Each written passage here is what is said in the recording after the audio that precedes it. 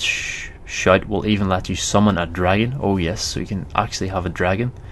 So will you be able to fly that dragon, or or will it uh, aid you in the in like uh, combat and fights? Will it aid you in fights?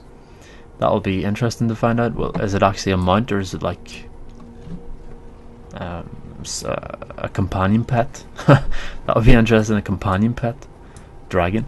Shout have a shouts have a cooldown time, so there's probably about 30 minute cooldown. I'd say it would need to be because they're very powerful.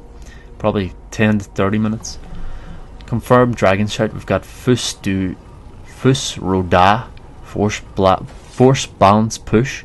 Force wave that damages and pushes away an enemies. That sounds like Aard from uh, The Witcher 2. You could push enemies off the edge of uh, uh, platforms and stuff. Hopefully they'll implement that so you can actually push enemies off cliffs and stuff. Because there's huge mountains in Skyrim, so you can really uh, make the best out of that by pushing enemies off cliffs and stuff. And down holes, there's like big chasms uh, inside caves and all. Liz Slenus Ice Flesh Statue. Level 2 summons a wave of ice crystals. Level 3 freezes and traps enemies in a block of ice. Nice. Looks like uh, the opposite of uh, in World of Warcraft. You have the Mage Ice Tomb. You can actually Ice Tomb a, an enemy. That's pretty hilarious. Starun Ba-O. Storm Lightning Wrath. Summons a lightning storm to damage nearby enemies with lightning. So that'll be like an area of effect lightning uh, effect. So you summon a lightning cloud, it's like Thor. That, that's like Thor's lightning. It's pretty cool. Yald Tor Krem. Fire Inferno Sun. Breathes fire upon enemies. Nice, like a dragon's breath. Um, Tild Chloe. Time Sand Eternity. Slows down time all around the player. That's nice. So it's like a bullet time if you want to uh, if you're in trouble, you want to get out of trouble, you just uh, slow down time so you can get into the right position, or else you can get out of the way, or you can run away even. Uh, lane, what, what, what, whirlwind sprint grants the player the ability to sprint at incredible speeds. Nice, that's like uh, quick travel sort of. Uh, something, something, Dova summons dragon. Whoa, summons a dragon that aids the player. Hmm, so it's actually a companion that aids you. It's not. I don't think it's going to be like a mount. I'm doubtful it's going to be a mount. It would be very awesome if it's a mount. I mean, a dragon mount. People have actually made a mod for that. There is a dragon mod in uh, Oblivion. You can now have a dragon flying mount. So that'll be very interesting if we do get a flying mount. Something, something, something. Teleport teleports the player behind the enemy. Ooh, that could be useful. So you can backstab them with your dagger, perhaps. Elemental Fury, shout at your weapon and you deal damage faster. Shout at your weapon. Go faster, damn it!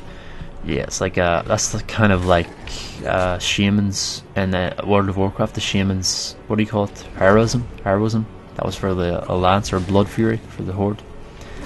Finzi Gron, Fade Spirit Bind allows you to become immune to damage for a short period of time, so it's like a shield. However, you'll be unable to fight. So you can run away probably, but you won't be able to fight, so it's kind of useful if you get into bad, bad trouble. And you want to get out of there. AI, NPCs and creatures. New updated Radiant AI. So AI, NPCs and creatures. New updated Radiant AI. You won't find townspeople loitering aimlessly in town squares anymore, so they'll actually be doing stuff like uh, working, like you saw as you went into Riverwood, you saw the guy working on his logs and stuff. Each NPC performs tasks that make sense in their environment. So he was a logger, so he was doing his task. He's uh, carrying out his actual job. So it'll be people who are actually uh, working, doing their stuff, or else they're out of work. They're in the inn, having a drink, having a laugh, chatting with each other, or else they'll be in their house sleeping, or else uh, chilling out or eating. To impart the towns and cities with a greater sense of life Bethesda has populated them with mills, farms, and mines that gives the NPCs believable tasks to op- occupy their day. That's awesome. That's like such, such, such immersion into the game. That's such bringing such depth into the game, such immersion. So you're, it's like you're actually in the world. That's what I love in these games. I love the immersion factor, and the deeper the immersion, the better the game for me. The improved Radiant AI technology is also more aware of how our citizens should act or react to your actions. So as you perform tasks for them or terrorize them by ransacking their homes, the NPCs develop feelings for you. So if you if you're good friends with a particular if you if you if you're like uh, nasty to them, if you uh, steal their stuff and stuff like uh, and stuff, um, then they will they obviously not like you and they won't they won't want to speak to you even. But if you if you help them out with tasks and stuff, they'll be more friendly towards you, and they'll help you out. Even that'll be very very awesome. If you're good friends with a particular NPC and barge into his house during the middle of a night, during the middle of the night, he may offer you lodging rather than demand you leave the premises. That's awesome.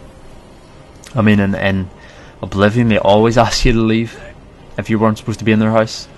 Um, even if you were like maxed 100, their dispos- disposition to you, they were like 100, they loved you, and you barged into their house, they just tell you to get out. But in this case, they'd offer you lodgings because you're like their friend, so it makes total sense there. If you swing your weapon near an NPC, knock items off their dinner table, or try to steal something of value, they'll react with an appropriate level of hostility, given their prior relationship to you. That's awesome. Haha. If you drop an item near the ground, oh my god, if you drop an item on the ground near NPCs, they will react to them as well. Such as a child might try to give you the sword back. Oh my god, two men will fight over it, or someone might even try, even try to kill you with it if they dislike you. That is awesome. So it's like they're reacting to every single action you do, every single item you drop.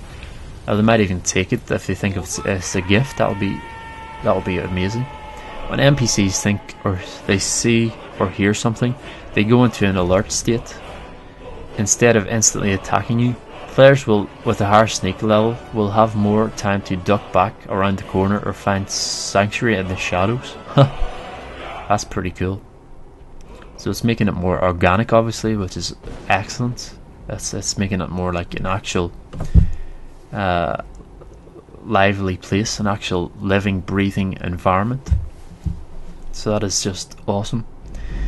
NPCs. When you approach an NPC, they'll engage in dialogue with you while continuing to do their task or making gestures or pacing around, depending on what their personality is.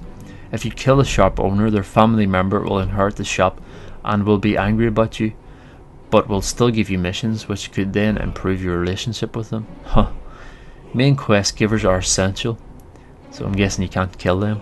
Like it was in Oblivion, you had certain NPCs you couldn't kill, you had the crown over them, you couldn't uh, kill those NPCs. You can make friends by doing quests for people, thus making them act differently towards you. They might even join you on an adventure, that's pretty cool.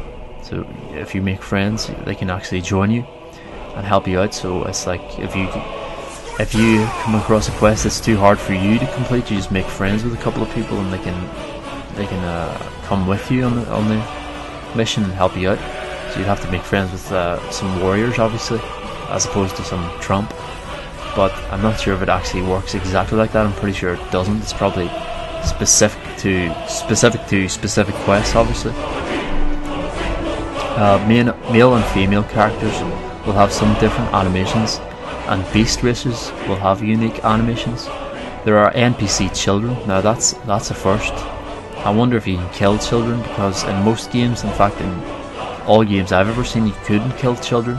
Like in World of Warcraft, you can't kill the children. Even if you're if you come in the Stormwind, you can't kill the, the children. If you're a horde, you couldn't kill the children.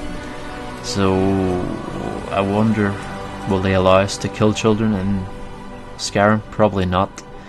I don't know why they don't, they're just like another human, but something that's just too taboo to do in games, unfortunately.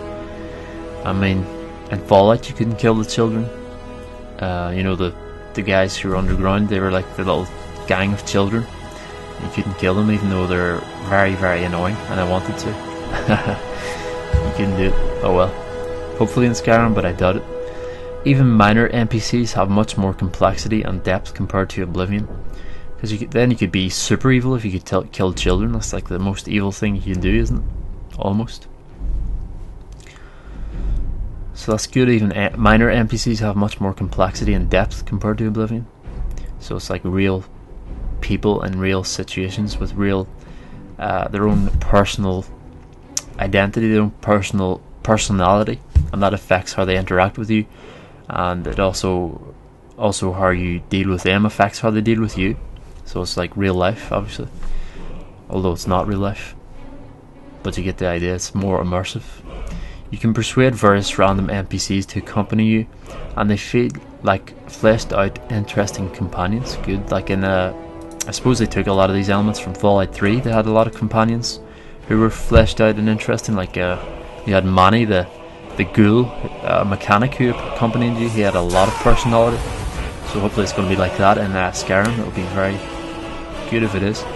There are bards and taverns who play tunes, and you can pay them to play another tune. That's pretty cool.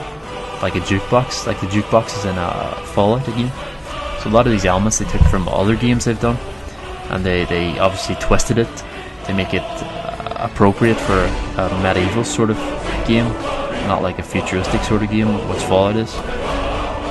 Uh, you can hire companions to join in your adventures. That's that's another element taken from Fallout. Like New Vegas, you could hire the guy who's standing outside the the casino district. You could hire him to protect you.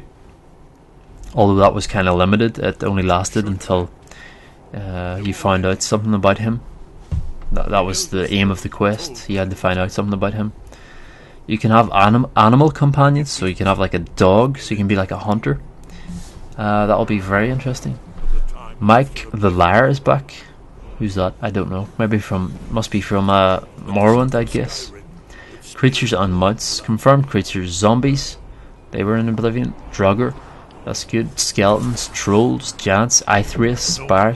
Giant spiders. Dragons. Dragons. Yes, good. That's new.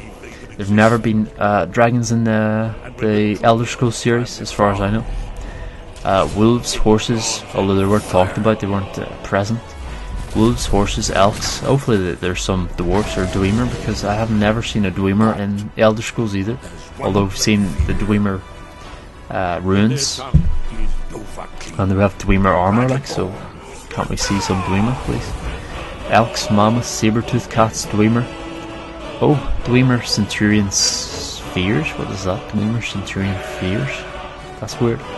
That must be like, uh, what do you call it, the rock golems that the dwarfs have. The golems, yeah, that must be what they are. Uh, dogs, skeevers, boars, rabbits, horkers, glowworms, bees. Bees, awesome. We've got bees. Torch bugs, lunamoths, spriggans, mud crabs. Oh yes, mud crabs, of course. Bats. Oh, we've got bats. Foxes, frost atronach, ice golems. Oh, salmon. Salmon? Really? Salmon? We have salmon? And vampires? Hopefully we get birds, because that's one thing that was missing from the previous uh, Elder Scrolls games, the birds. You could hear the birds, but you could never see the birds. I'd always wanted to see, like in uh, they had these in the Witcher 2, they had crows sitting on the ground, and you could fire into the crows and kill them. Like in Half-Life, you had the seagulls sitting down, and you could shoot the, the seagulls. That's always a nice... It adds depth to the game, adds realism to the game, it adds another dimension to the game. You can like bird watch, you can shoot birds, you can just have have a laugh chasing after a chicken or something. Like in uh, what was it? And Fable they had that the kicking the chicken little mini game, which was awesome. Just adds another nice little layer of depth to the game, you know. Every little detail adds another element to the game. It adds more depth to the game. It adds more uh, immersion into the game. And little details can make or break a game, really. Uh, most great games have a lot of little details.